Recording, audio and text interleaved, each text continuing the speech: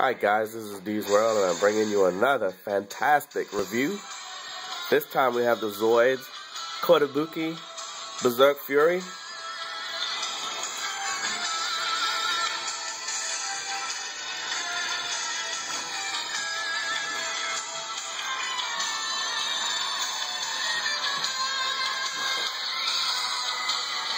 And it took just about uh, I would say 14 hours to complete this guy.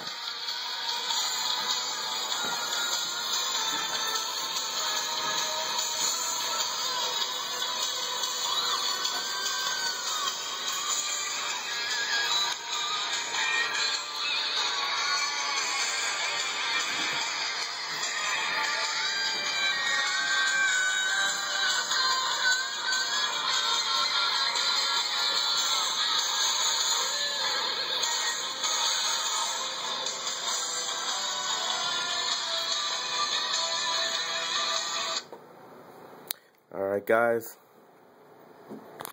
getting into so much detail that's on this bad boy. Well, you can't really see much of the detail because of the lighting in here, but let's move right along.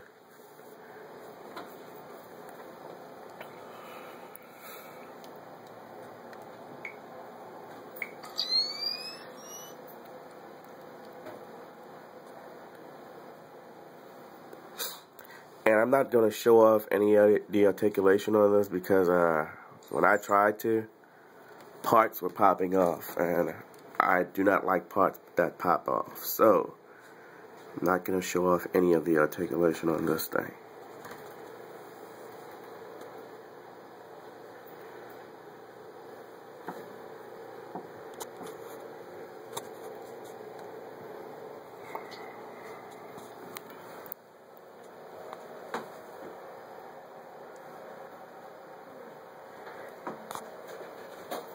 And just behind it is the box art that this bad boy came in.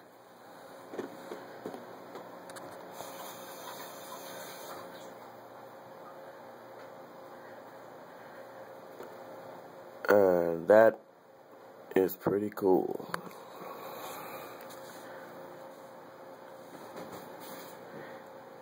Well, guys, this is D's World. And this is the Berserk Fury.